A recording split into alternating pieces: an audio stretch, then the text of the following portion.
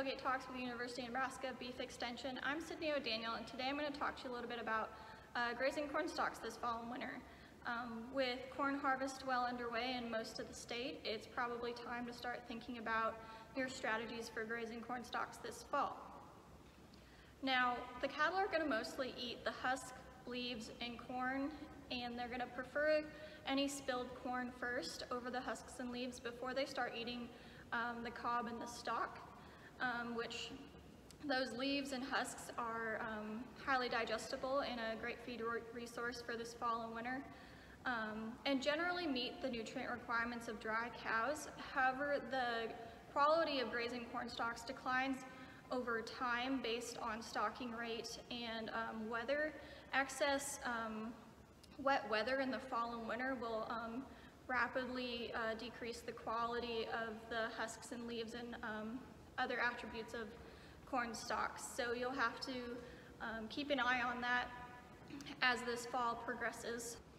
Generally, we recommend that you graze corn stalks to 50% of what was out there to begin with. Um, usually the take half, leave half rule is a good idea. Um, it's also important to remember that if you are grazing calves, or placement heifers, or lactating fall cows, um, they are going to need varying levels of supplementation and your local extension educator can help you work out um, a ration plan for those, um, those cattle. Now one of your first steps to grazing uh, corn stalks will be to calculate your stocking rate. Um, UNL has a great resource for this. They have the corn cornstalk grazing calculator, which can be found on the beef.edu website.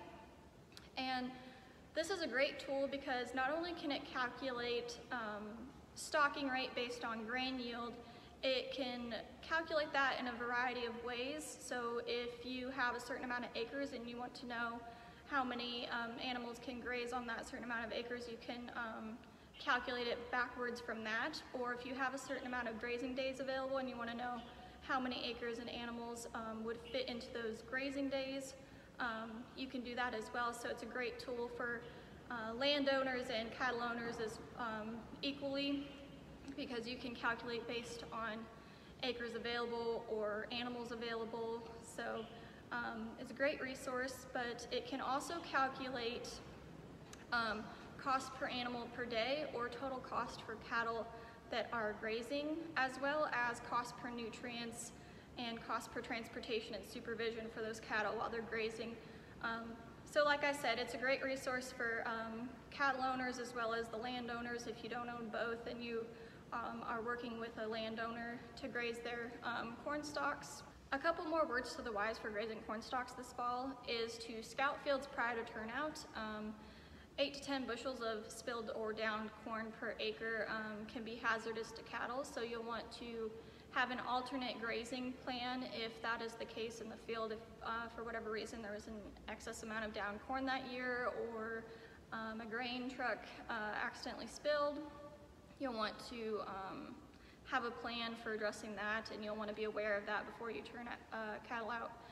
Um, also, as we approach winter, you will want to have a, supplementation um, plan for cattle on corn stalks if there is um, a significant ice storm or um, a deep snow event because those cattle will not be able to uh, graze those corn stalks until the weather improves and so you will want to be able to access that field to uh, provide some supplementation uh, during that time.